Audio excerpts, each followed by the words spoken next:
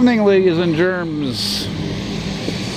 Elton McFall here, aka Retro Old School, the one and only, the one who talks too much, the one who maybe uh, says some controversial shit, who swears too much, but is definitely funny, entertaining, and unpredictable at the corner of La Rue Louvain East and Foucher. And as usual, I thought it was a spur of the moment time to uh, do a little walking video since it's God almighty, it's a balmy like what, 26, 27 degrees Celsius. And uh, we are September hard to believe the 17th jetliner, jetliner going by here and I figure, well let's do a little walk here. Even though I'm tired and that's why I went to my doctor. I don't know if it's because I'm aging and I'm getting old but uh, or I'm too active for that fucking matter I don't know but uh, anyway we'll go take a blood test soon and uh, hopefully everything will check out right but uh, I don't know man when you when you feel literally sick and tired I don't know if that's normal personally so, on verra, as we say in French, we shall see. Any nice flowers, eh? Like I said, it's a lovely evening in the city. And uh, walking around La Rue Foucher. It doesn't sound right in English though, eh? Foucher. So far all I see is boring cars, but nice homes, nice little old homes here in the uh, the uh, sector. Can you dig it? Oh, a little fly. hey, little buddy. Ah, there's nothing like animals to add to the video, like those kitty cats I see and so forth. Boy, that God, I think that's that pizza, that pizza, that restaurant I smell. What was it called? Martini Pizza or something? God, it smells so good. I know I'm walking like behind it. I'm not even hungry. I want to go there. What's that? Yeah, man. Ah, oh, come on, camera. Don't go out of focus. I gotta tell you, I am not pleased with Nikon right now. Not at all. Not at all pleased with Nikon. So check this out. I went to Lozeau yesterday, which is the premier photo store in Montreal. And that place actually has been open for like, I don't know how many decades. I think it's been open since like the 30s or something. And uh, so I go to the repair section, and the guy's like, uh, so he's smart, uh, young guy. He figures, well, he takes out uh, uh, an identical Nikon Coolpix A900 like mine. And uh, he uh, zooms in and out on the lens. Then he hits record and does the same thing again. And again, it, the, the lens, when it retracts, it vibrates just like mine. Same goddamn problem. For crying out loud. You know, and the worst part is, is that um, I don't have the bill. I, I wasn't even sure if I got a bill or not when I bought the camera, right? I like that. It's nice driveway. Nice door, nice flowers. Look at this, completely different here. That's not how they used to be. It wasn't all black like that before. Everything turns black now. The fucking frames. Anyway, whatever. So to continue what I'm talking about. Uh, so yeah, you know, like uh, I'm like, fuck, I'm distracted. What the hell was I talking about? So yeah, so the camera basically has the same problem as mine, except mine is more severe. Look at that, eh? How's that for a driving school car, eh? Toyota Tercel. Why not? You can't kill them. And, uh, so yeah, I'm like, what am I gonna do? I don't have a spare camera. I don't have the money for another camera. See this type of fucking guy who lives here? If it were up to me and I was a politician, I would sell, send all these fucking separatists out to Alberta there but let them appreciate how beautiful our country is, you know, or BC. Send them out there for a few months. Yeah, so anyway, uh, yeah, so that's uh, pretty disappointed about that. I have the warranty card, which doesn't do fucking dick because I don't have the goddamn bill because I bought the camera outside the box, even though it's from Jonquière. I called Nikon Canada. I talked to the this guy, this super nice guy, this guy named Denis Jolicoeur there, really nice guy. The guy's totally like me, totally a free spirit, you know, kid at heart, blah, blah, blah. But I mean, uh, God, that pizzeria smells so good. Oh my God. You know when it smells good like that, you know it's good. You're like, you know it's great even. It's on the next street there on De La Jeunesse. I passed by it a few times. I'm gonna eat there one day. Holy shit, look at this. It's Chabanel here.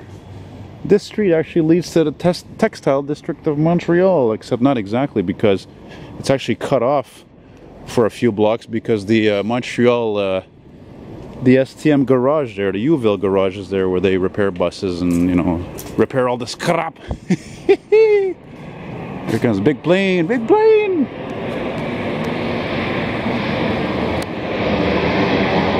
Whoa, daddy. All right a pretty nice looking Volvo, I have to say. Usually this model, it's got the black bumpers and all that shit. It's not very nice. Hey, look at this bike. Ooh, yeah, right on. What is that, a Ducati? I'm not going to go look and see. I don't know. I don't want to. I, sometimes I don't like looking at things very closely because I've had people laugh at me when they see that, you know? Because, you know, people are, right? People are fucked is what they are. They're mean. It's like me, for example. If I try to be nice...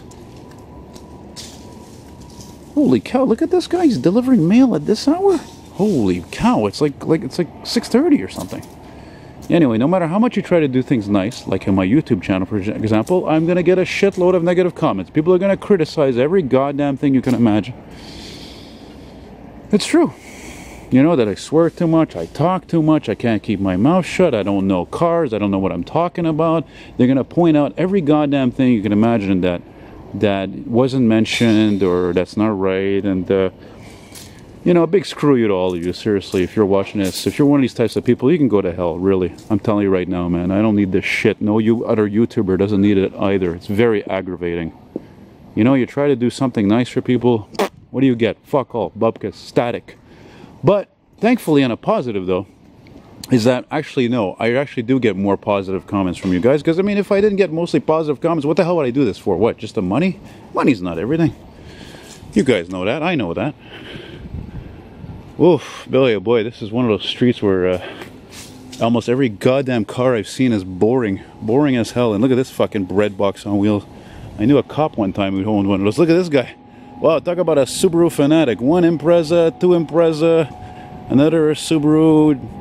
I don't even know if it's an Impreza. I don't give a shit anyway. Whatever. Uh, yeah, yeah, yeah. Pretty boring. I think I'm going to end this at the next block. Maybe some of you, therefore, you know, you lived here, or had a friend that lived here, a relative, or whatever the hell it is. You know, you'll uh, enjoy this nevertheless, and it'll take you back, and it'll be nice for you to see this uh, now, and you'll be like, "Whoa, check that out! That looks like an old, uh, yeah, that's a fucking old. That looks like a vintage uh, pickup truck box, maybe off a Ford or Chev or something." Okay, now that's getting interesting. I like that. What else is there? What else is there? There's a nice vintage bike there. Now we're talking. Things are getting interesting. Look at that. Honda 750, Honda 750 CB, maybe something like that. Ah, the smaller they are, the more they bark.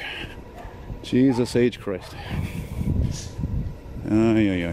It's a nice street, though. I would love to live on a street like that. Trees everywhere. Trees are everything, man. You know.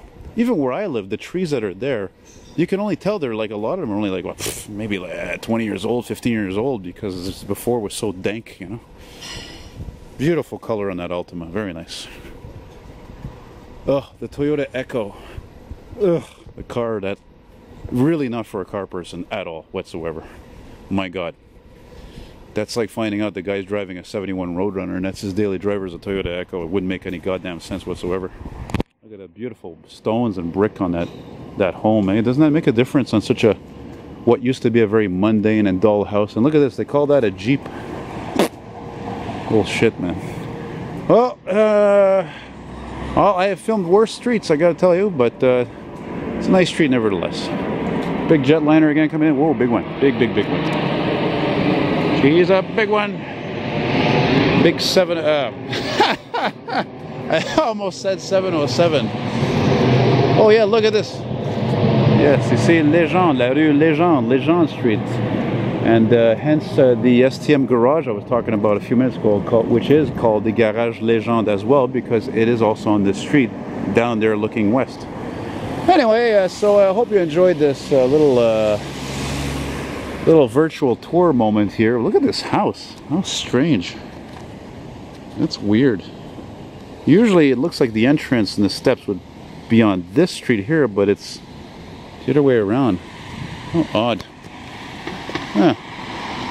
Anyway, well, that's about it. So, uh, I think I'm going to walk towards, uh, I don't know, Cremazie or something. Uh, not Cremazie, uh, Saint Laurent.